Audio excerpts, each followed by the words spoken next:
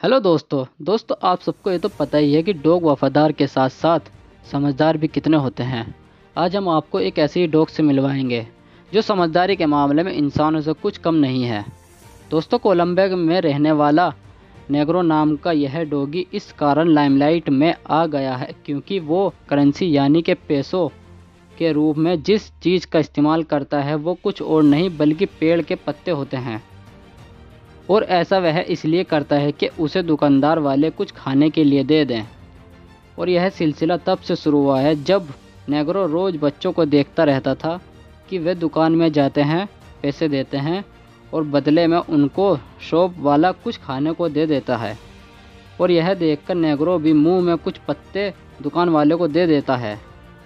दुकानदार उसकी वफादारी और समझदारी को देखकर उसे उन पत्तों के बदले कुछ खाने को दे देते हैं। इसके बाद कुत्ते को जब भी भूख लगती है तो वह कुछ पत्ते जाकर दुकानदार को दे देता है और वह दुकानदार उसे कुछ खाने को दे देते हैं। तो दोस्तों, नेगरों की समझदारी आपको कैसी लगी, हमें कमेंट बॉक्स में ज़रूर बताएँ।